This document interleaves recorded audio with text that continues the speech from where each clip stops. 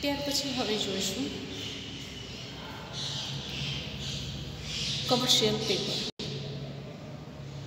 Commercial paper વિશ્વ સ્તરે ઓગણીસો એંસી પછી ઘણા લોકપ્રિય બન્યા. તો ઓગણીસો એંસી નીચે અંડરલાઈન કરો અને વિશ્વ સ્તરે અંડરલાઈન કરો. સૌપ્રથમ રિઝર્વ બેંક ઓફ ઇન્ડિયાએ જાન્યુઆરી ઓગણીસો નેવુંમાં કમર્શિયલ બહાર હતા એક એક લાઈન બહુ જ મહત્ત્વની છે, બધાએ યાદ રાખવાની છે. વિશ્વ સ્તરે ક્યારે લોકપ્રિય બન્યા? ઓગણીસો ને એંસીમાં. ભારતમાં ક્યારે બહાર પાડવામાં આવ્યા? જાન્યુઆરીમાં ઓગણીસો ને નેવું. કોણે બહાર પાડ્યા? Reserve bank of India. Commercial paper બિન સલામત અને ટૂંકા ગાળાની વચન ચિઠ્ઠી જેવો દસ્તાવેજ છે. ખાસ યાદ રાખજો. ટ્રેઝરી બિલ કેવા છે? વિશ્વસનીય છે. સલામત છે. જ્યારે આ પણ રિઝર્વ બેંક દ્વારા જ બહાર પાડવામાં આવે છે, છતાં પણ તે બિન સલામત અને ટૂંકા ગાળાની વચન ચિઠ્ઠી જેવો એક ડોક્યુમેન્ટ્સ છે. ટૂંકા ગાળાનું ભંડોળ મેળવવા માટે કમર્શિયલ પેપરનો ઉપયોગ કરવામાં આવે છે. ઊંચી શાકપાત્રતા ધરાવતી કોર્પોરેટ સંસ્થાઓ કે જેમની નાણાકીય સ્થિતિ મજબૂત છે, તે બહાર પાડે છે. બરાબર? કોણ બહાર પાડે છે અત્યારે? ઊંચી નાણાકીય સંસ્થાઓ. કોર્પોરેટ સંસ્થાઓ, કે જેની સાખપાત્રતા ખૂબ જ ઊંચી છે, નાણાકીય સ્થિતિ ખૂબ જ મજબૂત છે, આર્થિક રીતે સદ્ધર છે, તેના દ્વારા બહાર પાડવામાં આવે છે. હસ્તાંતરણીય સાધન છે, તેથી ફેરબદલીને પાત્ર છે, એક વ્યક્તિ બીજી વ્યક્તિને તે આપી શકે છે. કારણ કે વચન ચીઠી જેવો દસ્તાવેજ છે એમ કીધું ઓલામાં તો કેવું હોય, ટ્રેઝરી બિલમાં તો જે તે વ્યક્તિને જેનું નામ હોય તેને જ નાણાં મળે. અહીંયા મારી પાસે જે કંઈ પણ ડોક્યુમેન્ટ્સ હોય કમર્શિયલ પેપરના એ હું તમને આપી દઉં. નાણાંની પતાવટ માટે જરૂર પડીને મેં તમને આપી દીધા. તો તમે તેને વટાવીને નાણાં મેળવી શકો છો. એટલે તે હસ્તાંતરીય થઈ શકે છે અને એટલે જ તે હસ્તાંતરણીય સાધન છે, બીજાને ફેરબદલી કરી શકાય છે. કંપનીઓ અને નાણાકીય સંસ્થાઓ ઓછામાં ઓછા સાત દિવસ અને વધુને વધુ એક વર્ષની મુદત માટે બહાર પાડે છે. તો તે અંડરલાઇન કરો. ઓછામાં ઓછા સાત દિવસ અને વધુમાં વધુ એક વર્ષ. કમર્શિયલ પેપરનું રિઝર્વ બેંક ઓફ ઇન્ડિયા દ્વારા નિયંત્રણ થાય છે. બરાબર? નિયંત્રણ કોણ રાખશે? રિઝર્વ બેંક ઓફ ઇન્ડિયા તે પાંચ લાખના ગુણાંકમાં બહાર પાડવામાં આવે છે. તો પાંચ લાખના ગુણાંકમાં ત્યાં અંડરલાઇન કરો. પાંચ લાખના ગુણાંકમાં એટલે પાંચનો ઘડીઓ યાદ રાખવાનો. પાંચ પછી દસ, પંદર, વીસ, પચીસ, ત્રીસ, પાંત્રીસ એવી રીતે. બરાબર? કે જેને લીધે થઈને પાંચ લાખના પછી છ, આઠ એવી રીતે ન હોય. પાંચ પછી બીજું જે કમર્શિયલ પેપર હશે, એ કેટલાનું હશે? દસનું પંદર, વીસ, ત્રીસ એવી કિંમતના હોય છે. એટલે પાંચના ગુણાંકમાં એ પણ વટાવથી બહાર પાડવામાં આવે છે. એટલે રિઝર્વ બેંકમાં જે અંદર આપણે જે કમર્શિયલ પેપરો બહાર પાડીએ છીએ, ટ્રેઝરી બિલ જે બહાર પાડવામાં આવે છે, એવી જ રીતે વટાવથી કમર્શિયલ પેપર બહાર પાડવામાં આવે છે. અને તે ફાઇનાન્સ પેપર, ઇન્ડસ્ટ્રીયલ પેપર અને કોર્પોરેટ પેપરના નામે પણ ઓળખાય છે. તો આ ત્રણેય નામ યાદ રાખવાના. કમર્શિયલ પેપરને બીજા કયા નામથી ઓળખવામાં આવે છે તેમ કહેવામાં આવે છે. તો પ્રશ્નના જવાબમાં આવશે. તેને ફાઇનાન્સિયલ પેપર, ઇન્ડસ્ટ્રીયલ પેપર અથવા કોર્પોરેટ પેપરના નામે ઓળખવામાં આવે છે. આ પ્રશ્ન તમારે વ્યવસ્થિત રીતે યાદ કરી નાખવાના છે. મોટે હવે વાત કરીશું આપણે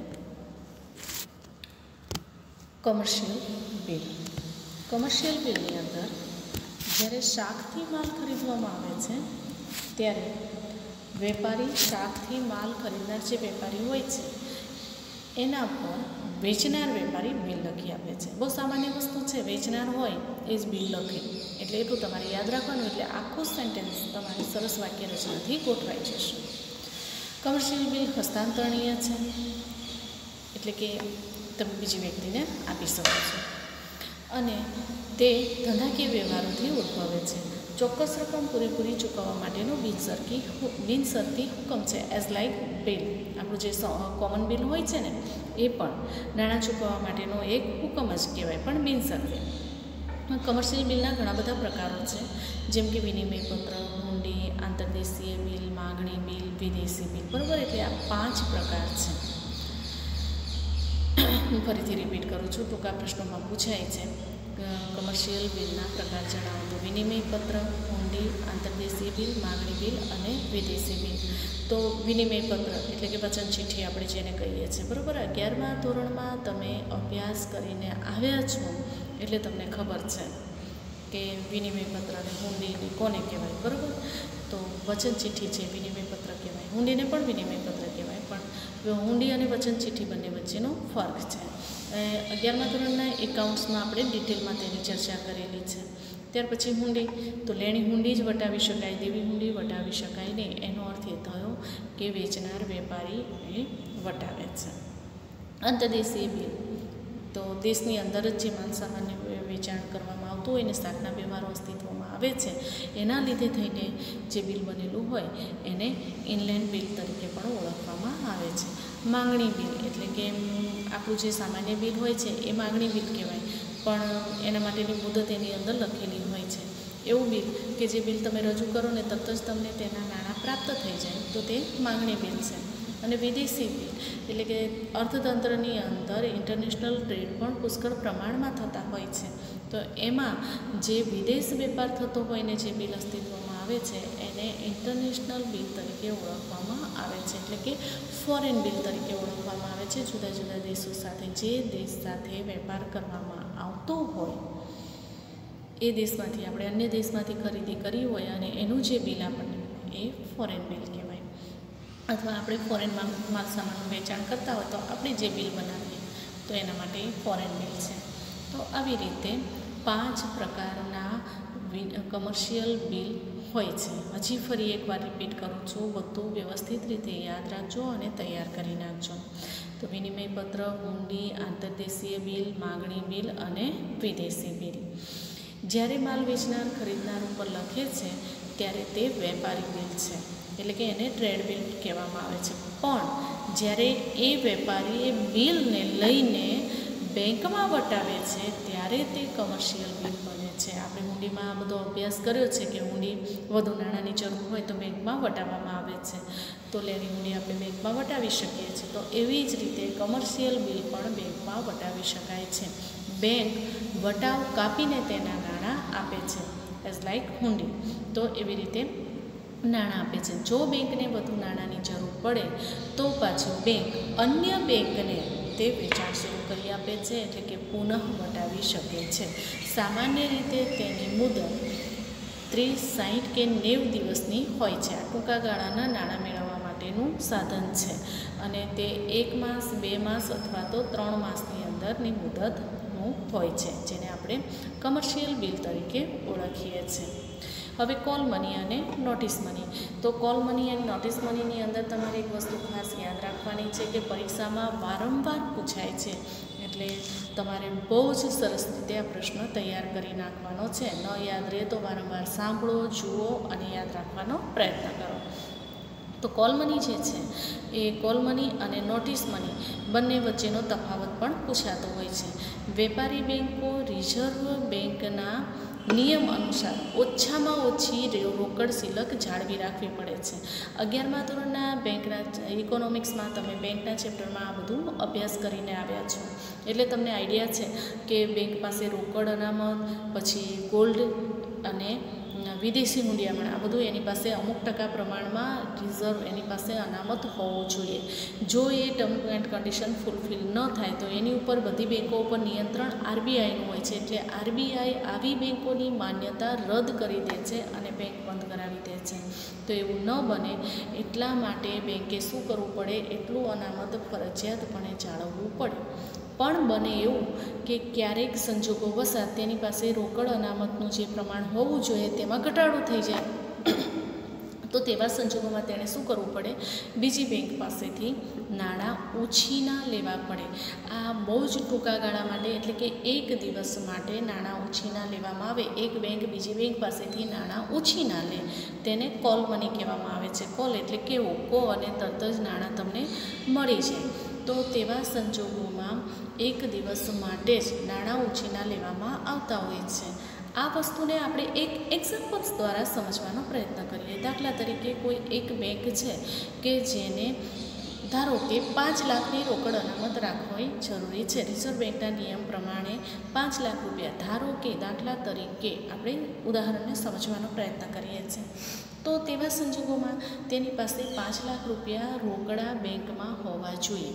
હવે ધારો કે તેની પાસે ચાર લાખને સુડતાલીસ હજાર રૂપિયા છે, તો બાકીના ત્રેપન હજાર રૂપિયા એને ઘટે છે.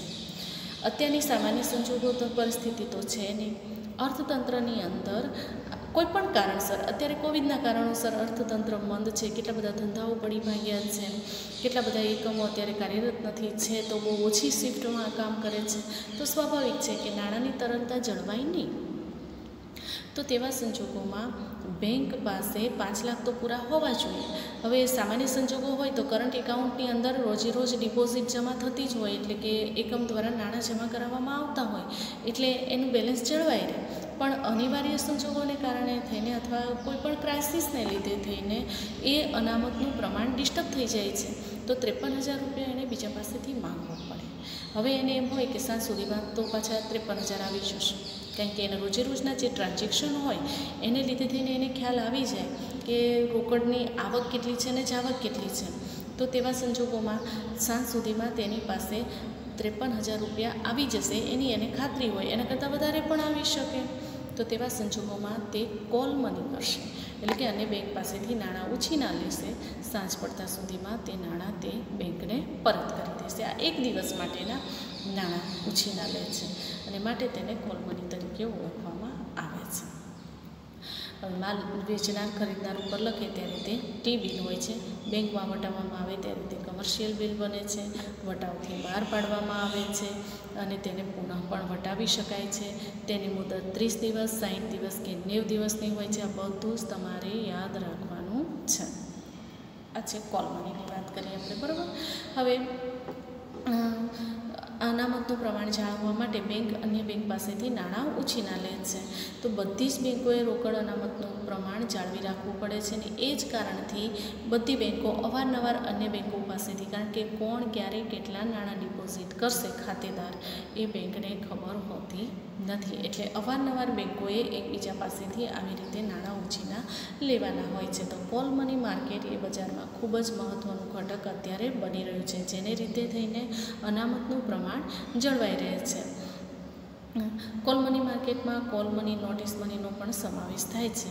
કોલ મની અને નોટિસ મની માટે કોઈપણ પ્રકારનું તારણ આપવાનું હોતું નથી. આપણે લોન સ્વરૂપે નાણાં ઉછીના લઈએ છીએ તો ડોક્યુમેન્ટ્સ કે કોઈ થાપણના પ્રમાણપત્રો કે ગોલ્ડ કે કે કોઈપણ વસ્તુ આપણે ગીરો મૂકીએ છીએ. તો એને તારણ કહેવાય. અહીંયા એવું તારણ આપવાનું હોતું નથી. કોલ મની હોય તો પણ નહીં અને નોટિસ મની હોય તો પણ નહીં. હવે કોલ મનીની અંદર રિઝર્વ બેંકના નિયમ અનુસાર બધી જ બેન્કોએ રોકડ અનામતનું પ્રમાણ જાળવવું પડે છે એટલે રોકડની અછત અનુભવતી બેંક બીજી બેંક પાસે કે જેની પાસે વધારે રોકડ છે, તેની પાસેથી નાણાં ઉછીના લે છે. ટૂંકમાં કોલ મની એટલે ઉછીની મૂડી. બરાબર? યાદ રાખજો. તો નોટિસ મની. નોટિસ મની કોને કહેવાય? જ્યારે બે દિવસથી લઈને ચૌદ દિવસ માટે નાણાં ઉછીના લેવામાં આવે કે આપવામાં આવે, તો તેને નોટિસ મની કહેવામાં આવે છે. હવે જુઓ નોટિસ મનીની અંદર, બે દિવસથી લઈને ચૌદ દિવસનો સમયગાળો છે. કારણ કે આપણને ખ્યાલ હોય કે આપણે જેટલા નાના દાખલા તરીકે આગળનું જ એક્ઝામ્પલની આપણે લઈને ડિસ્કસ કરીએ, તો ત્રેપન હજાર રૂપિયા એક દિવસમાં આવી શકે તેમ નથી. એવી આપણને ખાતરી હોય ટ્રાન્ઝેક્શન પરથી આપણને ખ્યાલ આવી જતો હોય. તો હવે આપણે શું કરવું જોઈએ? આપણને ખ્યાલ હોય કે બેથી ચાર દિવસની અંદર એટલા નાણાં આવી જશે. અથવા તો પંદર દિવસની અંદર દસેક દસ બાર દિવસની અંદર તો પાકો વધારાના ઉપર બે દિવસ ગણી નાખો એટલે કે ચૌદ દિવસ. તો એવું વિચારીને બેંક નાણાં ઉછીના મેળવે પ્રોસિજર સેમ છે, ખાલી સમય મર્યાદા એટલે કે ટાઈમ લિમિટ છે, એ બેથી ચૌદ દિવસની થઈ જાય છે. તો જ્યારે એવા સંજોગોમાં બે જે નાણાં મેળવે છે, એને નોટિસ મની કહેવામાં આવે ટાઈમ લિમિટ પૂરી થાય એટલે ફરજિયાતપણે એણે એ નાણાં જે તે બેંકને ચૂકવી દેવાના હોય છે. આ બિનસત્તી નોટિસ છે માટે તેને નોટિસ મની તરીકે ઓળખવામાં આવે છે. કેમ છો બધા? બાર કોમર્સના વિદ્યાર્થીઓનું? આ બિઝનેસ ઓર્ગેનાઇઝેશન એન્ડ મેનેજમેન્ટના કોર્સમાં હાર્દિક સ્વાગત છે. એક્ઝામ નજીક આવતી જાય છે. બોર્ડના ફોર્મ ભરાવાના શરૂ થઈ ગયા છે અને બીજી યુનિટ ટેસ્ટ જેને બાકી હોય, જ્યારે ફોર્મ લેવા આવો, ત્યારે ટેસ્ટ પણ લેતા આવજો. એટલે તમારા માર્ક્સ મારે પોર્ટલમાં મૂકવાના છે. એટલે આ ભૂલ થાય નહીં. જેણે ન લખ્યા હોય, તો લખીને પણ આપી જજો. હવે આપણે કમર્શિયલ પેપર વિશેની લાસ્ટમાં વાત કરી હતી. એટલે ટ્રેઝરી બિલની વાત કરી હતી. હવે કમર્શિયલ પેપર અને ત્યાર પછી હવે લઈએ છીએ. સ્થાપનાનું, એટલે કે સ્થાપનનું પ્રમાણપત્ર. આ થાપણનું પ્રમાણપત્ર જે છે, એને સર્ટિફિકેટ ઓફ ડિપોઝિટ કહેવામાં આવે છે, જેને આપણે ફિક્સ ડિપોઝિટ તરીકે પણ ઓળખીએ છીએ. તો થાપણનું પ્રમાણપત્ર એ બિનસલામત હસ્તાંતરણીય અને ટૂંકા ગાળાના નાણાં મેળવવાનું સાધન છે. દરેક જણ ખાસ યાદ રાખજો. એક તો બીજ સલામત છે. શા માટે? કારણ કે તે હસ્તાંતરણીય છે, એટલે કે તે તમે બીજાને આપી શકો છો. અને ટૂંકા ગાળા માટેનું છે. અત્યારે આપણે જે ટ્રેઝરી બિલ કમર્શિયલ પેપર જેની પણ વાત કરીએ, બધા કેવા છે? ટૂંકા ગાળાના છે. અને ટૂંકા ગાળાના હોય એટલે એનો સમયગાળો કેટલો હોય? એક વર્ષની અંદરનો. બરાબર? એક વર્ષ સુધીનો હોય. શેડ્યુલ વેપારી બેંકો અને નાણાકીય સંસ્થાઓ આવા થાપણના પ્રમાણપત્રો બહાર પાડી શકે છે. જે એફડી આપણી જે ગવર્મેન્ટ દ્વારા ફિક્સ ડિપોઝિટ બહાર પાડવામાં આવે છે, એની આપણે વાત નથી કરતા. એ તો બહુ લાંબા ગાળા માટેની હોય છે. બહુ લાંબો ગાળો એટલે સાડા આઠ વર્ષે ડબલ થાય. આપણે ડબલમાં ને એમાં મૂકીએ ને એ ફિક્સ ડિપોઝિટની વાત નથી થતી આપણે. અત્યારે આપણે, એ તો સેવિંગ્સ છે. અત્યારે આપણે જે વાત કરીએ છીએ, એ એવી વસ્તુઓની વાત કરીએ છીએ કે જેને લીધે થઈને આપણે જે કંઈ પણ તમારી બચતો છે એને ઇન્વેસ્ટ કરવા માટેની વાત છે. અને બહુ શોર્ટ ટાઈમ પીરિયડમાં તમારી પાસે વધીને આવતા હોય છે. તો આ જે છે, પણ એમાં ટાઈમ મુદત ફિક્સ હોય છે, એટલે એને ફિક્સ ટાઈમ ડિપોઝિટ રિસિપ્ટ તરીકે આપણે પણ તેને ઓળખીએ છીએ આ જે બેંકમાં તમે જે થાપણ મૂકો, એના માટેની તમને રસીદ આપવામાં આવે છે. એ રસીદને આપણે ફિક્સ ટાઈમ ડિપોઝિટ રસીદ એટલે કે રિસિપ્ટ તરીકે ઓળખીએ છીએ થાપણનું પ્રમાણપત્ર તદ્દન અલગ છે. આગળના જે આપણે બેની ચર્ચા કરી એના કરતાં તે એકદમ અલગ છે. થાપણનું પ્રમાણપત્ર હસ્તાંતરણીય અને વેચી શકાય છે. તમે બીજાને આપી શકો છો એઝ લાઇક કરન્સી બરાબર? આપણી પાસે બે હજારની નોટ હોય તો જ્યાં સુધી આપણી પાસે છે ત્યાં સુધી આપણે વાપરી શકીએ. અન્યથા જો આપણે બીજાને આપીએ છીએ, તો એ પોતાની મેળે. આપણે બીજાને હેન્ડ ઓવર કરી દઈએ તો એ એનો ખર્ચ કરી શકે છે. એ બે હજાર રૂપિયાનો માલિક છે. તો આ થાપ, થાપણનું પ્રમાણપત્ર છે. એમાં પણ એવું જ છે. હસ્તાંતર કરી શકાય છે, બીજાને આપી શકાય છે. અને વેચવું હોય તો વેચી પણ શકાય છે. એટલે જ્યારે બાંધી મુદતની થાપણની જે રસીદ હોય, એ હસ્તાંતરણી હોતી નથી. આપણે જે સેવિંગ્સ ડિપોઝિટની જે વાત કરીએ ને, ફિક્સ ડિપોઝિટ એ બાંધી મુદતની હોય છે. કારણ કે એમાં ટાઈમ લિમિટ ફિક્સ હોય છે કે સાડા આઠ વર્ષે ડબલ પછી એની ટર્મ્સ એન્ડ કન્ડિશન હોય કે આટલા વર્ષ પહેલાં તમે જો એક વર્ષની અંદર તમે એફડી તોડાવો તો તમારા રૂપિયા કપાઈને આવે. અને જો તમે ત્રણ વર્ષે કે છ વર્ષે કેવી રીતે એફડી તોડાવો, એનો ટાઈમ લિમિટ આપેલી હોય. એ રીતે જો તમે એફડી તોડાવો ટાઈમ લિમિટ પહેલાં, તો તમને તમારા રૂપિયા મળે, પણ તમારે અમુક ટકા વ્યાજ જતું કરવું પડે. અને જો ટાઈમ લિમિટ પૂરી થાય, ત્યારે તમે એ એફડી વટાવો છો, તો ત્યારે તમને જેટલા નાણાં મળવા પાત્ર થતા હોય તે બધા પ્રાપ્ત થતા હોય છે. એ એફડીની વાત છે કે જે હસ્તાંતરણીય નથી, પણ આ ટૂંકા ગાળાની જે શોર્ટ ટાઈમ રસીદ હોય છે, એ હસ્તાંતરણીય છે, તેને વેચી પણ શકાય છે. શેડ્યુલ વેપારી બેંકો તેમની જરૂરિયાત અનુસાર કેટલીક કન્ડિશન ટર્મ્સ એન્ડ કન્ડિશનને આધારે તે આવી રીતે સ્વતંત્રતા ધરાવે છે અને તેને બહાર પાડે છે. થાપણના પ્રમાણ હવે આપણે ચર્ચા કરીશું મૂડી બજારની, જેને આપણે કેપિટલ માર્કેટ તરીકે ઓળખીએ છીએ. આગળના ચેપ્ટરમાં જે મૂડી બજાર છે, એની અંદર આપણે એની ચર્ચા કરી ચૂક્યા છીએ. અત્યારે સામાન્ય પરિચય ફરીથી આપણે રિપીટ કરી લઈશું. તો કેપિટલ માર્કેટ છે, એને બે ભાગમાં વહેંચવામાં આવે છે. એક મૂડી બજાર અને બીજું નાણાં બજાર. મૂડી બજાર જે છે એની અંદર પાછા બે પ્રકાર પડે છે, પ્રાથમિક બજાર અને ગૌણ બજાર. તો સૌપ્રથમ આપણે મૂડી બજારનો અર્થ જોઈશું. મૂડી બજાર એટલે કે મિનિંગ ઓફ કેપિટલ માર્કેટ એના અર્થ વિશેની ચર્ચા કરશું. તો મૂડી બજાર એ સંગઠિત બજાર છે. મૂડી બજાર એ એવું સંગઠિત બજાર છે જે સમાજની જે બચતો છે, એને ભૌગોલિક સાહસો માટે મૂડી સ્વરૂપે ભંડોળ પૂરું પાડે છે. મારી તમારી જેવી વ્યક્તિઓ પાસે સેવિંગ્સ જે પડી હોય એ આપણે ઔદ્યોગિક એકમોમાં રોકવા માટે તત્પર બનીએ છીએ. એટલે એકમોને મૂડીમંડોળ પ્રાપ્ત થાય છે અને સમાજ પાસેથી બચતો ઉદ્યોગોની અંદર રોકાણ થાય છે. ઔદ્યોગિક સાહસો માટે લાંબા ગાળાની મૂડી મેળવવા માટેનું પ્રાપ્તિ સ્થાન એ મૂડી બજાર છે. મૂડી બજારની અંદર લાંબા ગાળાની જામીનગીરીઓ જેવી કે શેર, એની અંદર ઇક્વિટી શેર અને પ્રેફરન્સ શેર બંને આવી જાય. પછી ડિબેન્ચર લાંબા ગાળાની લોન્સ ડિપોઝિટ્સ આ બધાનો સમાવેશ તેની અંદર થાય છે. આગળના ચેપ્ટરમાં આપણે એના એક્ઝામ્પલ્સ વિશે અભ્યાસ કરી ચૂક્યા છીએ. તો આવી જામીનગીરીઓનો સમાવેશ તેની અંદર થતો હોય છે. મૂડી બજાર એ બધા જ પ્રકારની નાણાકીય જામીનગીરીઓ માટેનું બજાર છે. જેવી કે ઔદ્યોગિક જામીનગીરીઓ સરકારી જામીનગીરીઓ મૂડી બજાર સમાજની બચતોને ગતિશીલ રાખીને આર્થિક વિકાસમાં મદદરૂપ થાય છે. નાણાંના અભાવે આર્થિક વિકાસ અવરોધાતો નથી અને તેને પૂરતા પ્રમાણમાં એકમોને નાણું પ્રાપ્ત થાય છે અને તે ગતિશીલ બને છે. એટલે આર્થિક વિકાસ માટે તે નાણું ખૂબ જ મહત્ત્વનો ભાગ ભજવે છે.